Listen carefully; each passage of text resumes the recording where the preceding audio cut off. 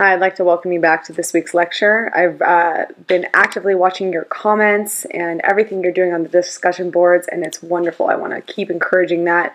You're doing a wonderful job. Your essays this week were fabulous, and I'd also like to usher you in to this week's lecture on new media marketing ethics. So, welcome back and keep up the excellent work.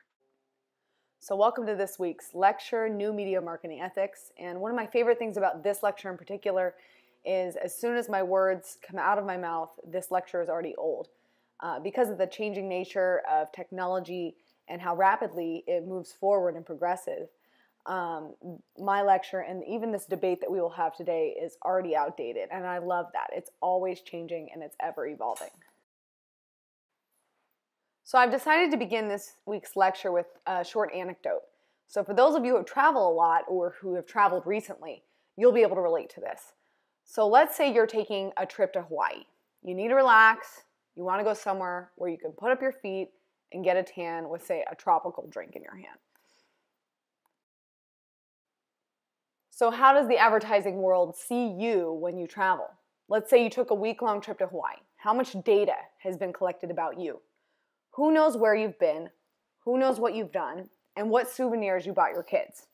So, here are the questions Did you check in on Facebook or Instagram? Did you check TripAdvisor to plan your trip? Did you use a credit card at the airport to buy a meal, perhaps? Did you use Google Maps to get around the island? Did you rent a car? Did you use a cell phone? So, all these things that are now vacation norms are basically converted into data on you as a traveler. Now, collectively, this data can be used to advertise or to market to you, to sell things that you may want or are perceived to want to recommend things to you that may be of interest to a person with your digital profile or your digital footprint. So, my question to you is in this newly emerging, ever changing field of technology, as we just discussed, of big data, sales, what is ethical and what isn't? Do you have privacy as an individual anymore? And lastly, is your trip to Hawaii as simple and as whimsical as you had originally thought it was? So, what information is available about you as a person online? So, how many of you have a Facebook account? Have you posted photos of yourself or your family online? How many of you own a home?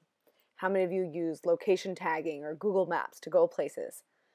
All of these interactions with the internet comprise a data history called a digital footprint. Now, compiled together, this information can be considered extremely valuable to, to advertisers and marketers as it tells them what type of consumer you are, and they can also deduce if you are the type of individual that would buy their product. Now, this helps them spend their marketing dollars with more accuracy.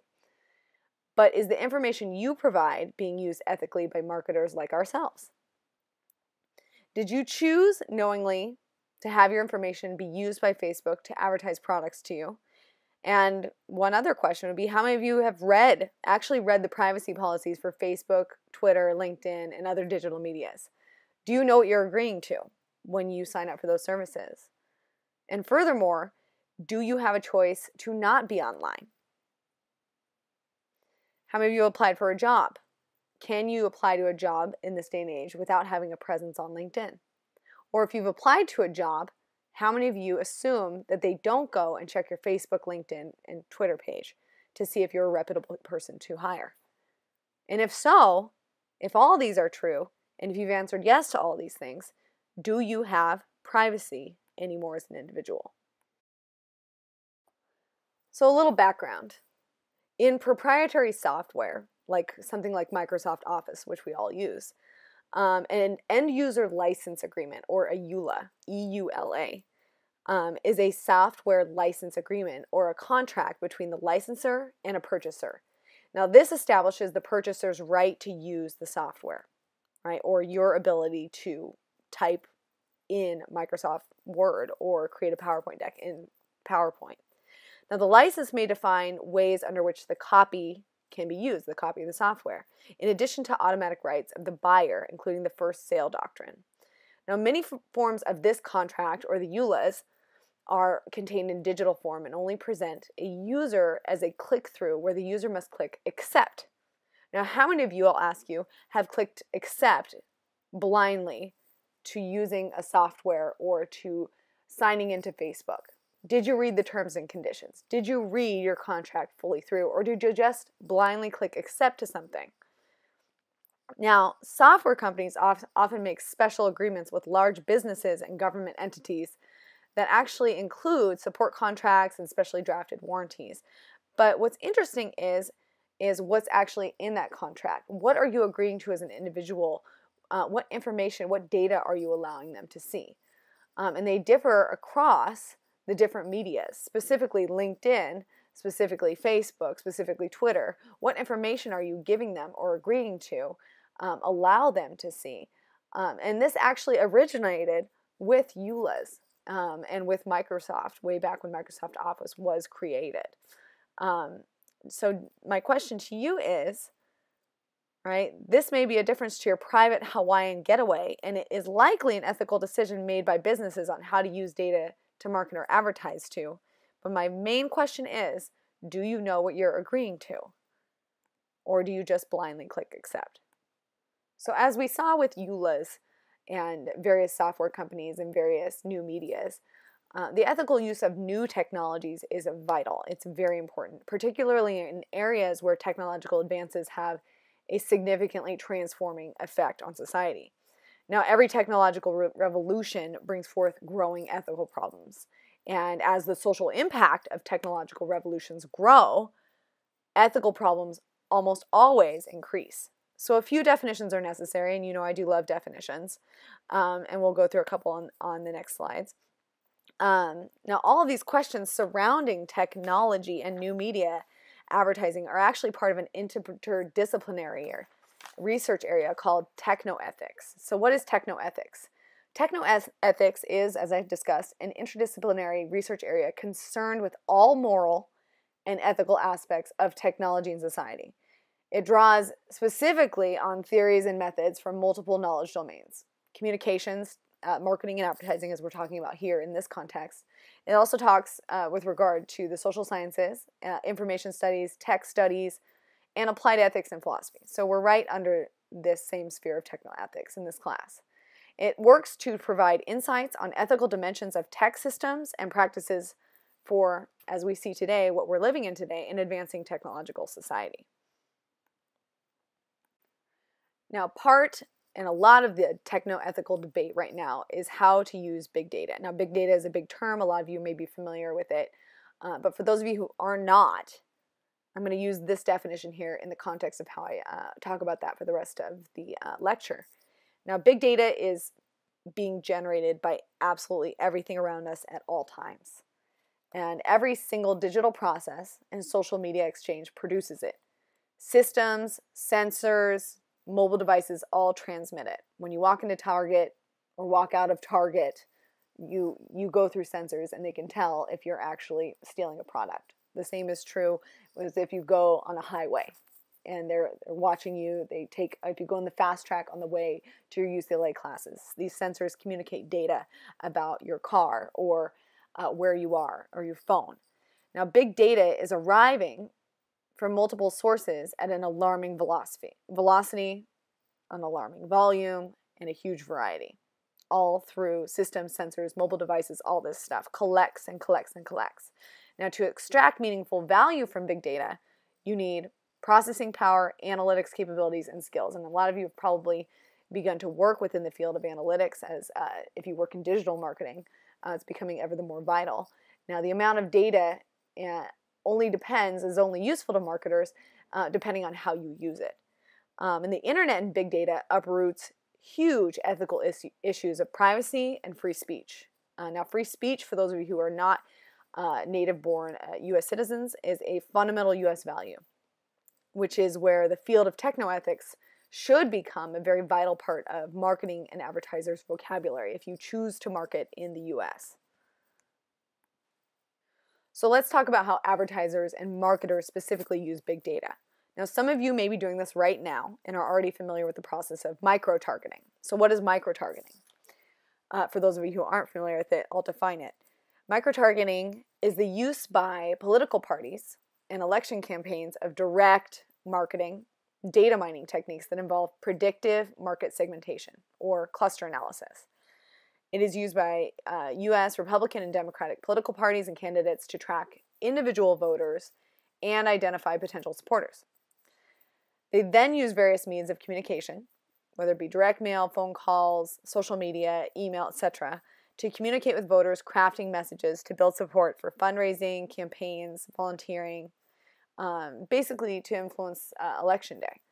Now, of course, big data enables micro targeting. The more data you have on a person, the more you can actually hone in on a target to sway a vote. But today, micro targeting has actually been socialized across our industry in marketing and advertising and is common practice for digital marketing and digital ads. So I'd like you to take a break from this lecture, push pause, and watch the attached video. Now, located in your course module uh, for this week is a, a, link to the attached video, and it's how uh, micro-targeting began through political campaigns. Now, this video, video is now a bit dated because it's from the Obama's first election campaign, but nonetheless, uh, it offers a history of how political uh, campaigns first began to use digital marketing in specific reference to digital media. So I'd like you to pause now and watch the video. Now, as soon as the success of the Obama micro-targeting campaign began to circulate, advertisers and marketers alike began to socialize his strategy and mainstream his tactics of micro-targeting to boost sales specifically. So I'll ask you this question. Are there ethical issues in acquiring personal information and using it to segment and market to the public in this way? Now, historically, micro-targeting was used to create personalized messages or offers and then deliver those offers directly to certain individuals. Then, this type of targeting was actually done using postal codes and geographical segmentation, which is part of, as we know, demographic marketing.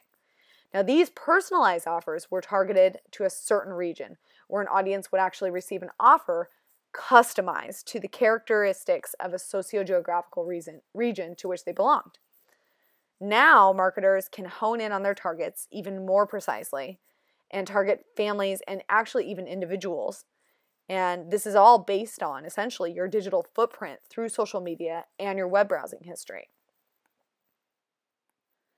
So, another definition cyberstalking is the use of the internet, and this definition is from Wikipedia, or electronic means to stalk or harass an individual, a group, or an organization.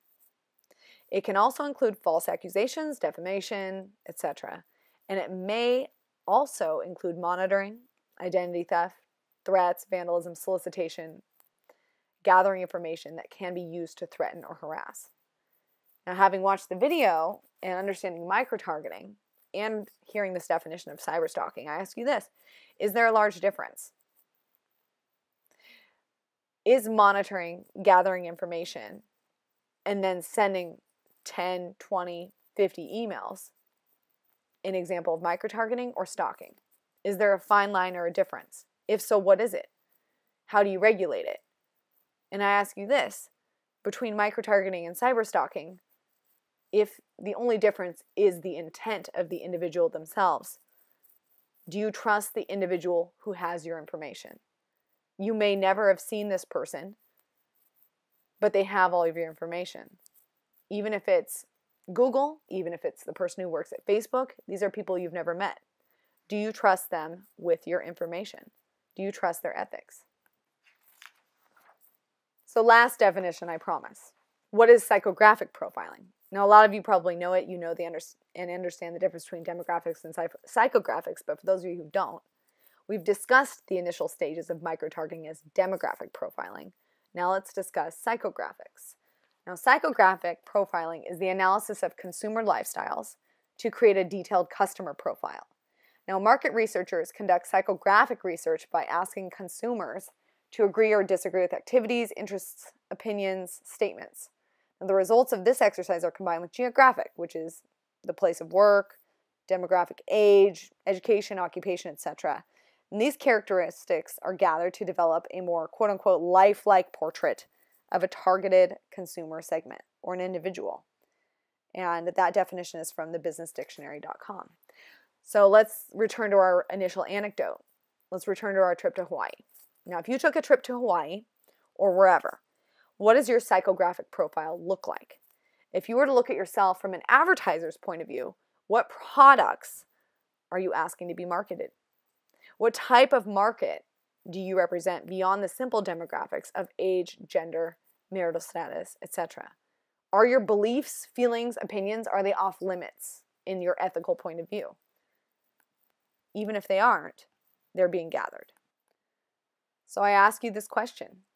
Do you think that microtargeting and psychographic profiling are ethical? So, whether you answered yes or no to that question on whether you think it's ethical, it's being done and has been for some time now. Now, data marketing's effects in campaign politics and elections um, and marketing and even criminal justice have been so influential that the Obama administration actually began a study in 2014 called Big Data Seizing Opportunities, Preserving Values in order to investigate the ethics, the opportunities, and the limitations of big data's future. Now, seeing the value that microtargeting and data actually offered his own campaign, Obama, our president, actually conducted his own, still ongoing study on how these advances in technology can be used for national security purposes and SIGINT or signal intelligence purposes, and what those things mean for American privacy and freedom, which we consider to be core American values. Now, why is this important? Now, if you think about Facebook, if you think about Instagram, if you think about digital media, um, a couple statistics. More than 500 million photos are uploaded and shared every single day, along with more than 200 hours of video every single minute. Now, the volume of information that people create themselves, the full range of communications from all the voice calls, emails, and texts to uploaded pictures, to videos, to music, all of this pales in comparison to the amount of digital information created about them every day. Now, your psychographic profile or your digital footprint, what people can infer about you based on what you tell the internet. Now, these trends continue. We are actually only in the very beginning of what Obama's report names the quote, Internet of Things. Now, this is a phrase now we're all familiar with. If you're not familiar with it, the Internet of Things, defined here, is where our appliances, vehicles, wearable tech, all of this stuff can, is able to actually communicate with one another.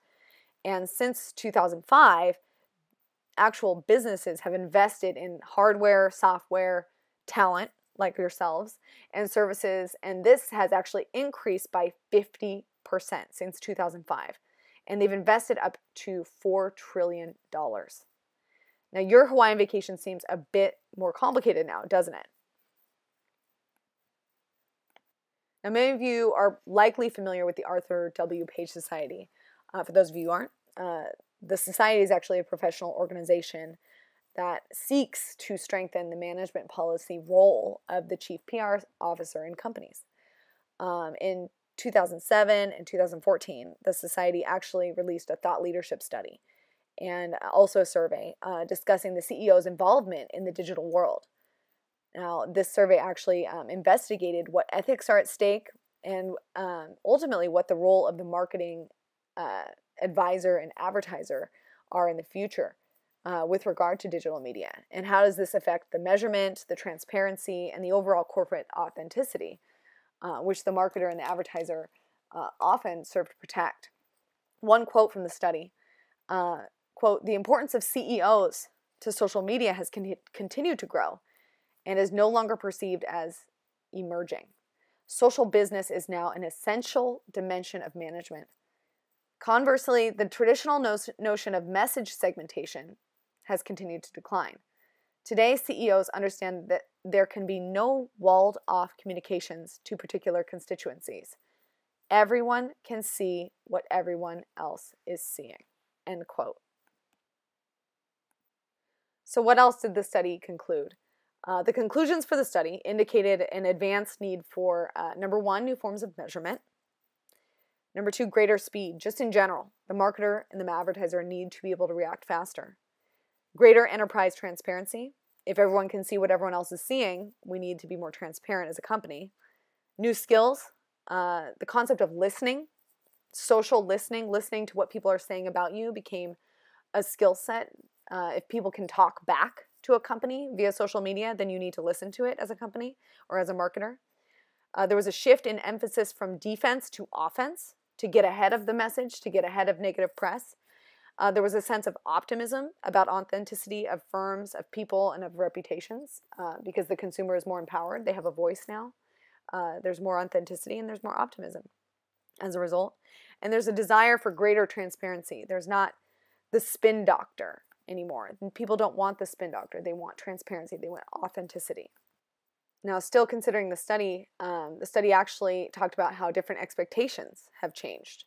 Uh, what are the expectations now? Uh, number one, social media is now mature. Stop talking about it as emerging. Uh, the news cycle is now irrelevant. It's 24 7. You're always on. Uh, the third one, reputation matters more. It can take years to build a reputation and only seconds now to ruin it. Uh, four, more CCOs are in the inner circle. Five, measurement is a key expectation. You have to be able to measure, you have to be able to understand that side of your brain as a marketer and a communicator now. Uh, there's only one message get broad and deep input before you do anything. And always make your values transparent, inside and out, financial forecasts, all of it. You have to be transparent as a company. You have to be ethical and check your work. All of these things relate to our class and our discussions about ethics. Um, it's making the corporation more ethical.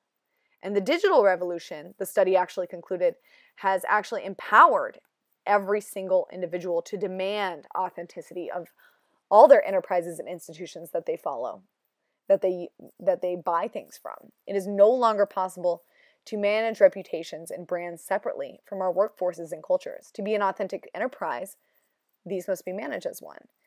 And if you think about, like, let's say you take a, a flight on American Airlines and you have a terrible flight or the flight is delayed. If you go on social media, complain, it affects the reputation of the business directly. So, American Airlines is forced to be a better company as a result, or a more ethical one. Now, that's because of the emergence of big data, social media, and the enhanced power of the consumer to quote unquote talk back to corporations. Um, these corporations are forced to stand by their values. They're forced to be authentic and transparent. But has this been done at the expense, and let's return to us as the consumer, of the individual and their privacy? Is the corporation forced to be more ethical because they are watched more closely? If so, what backlash does this same effect have on individual privacy? So I'll leave you all with this question How important is your personal privacy? How important is your personal privacy as a consumer, as an individual? Would you go back to the way things were before?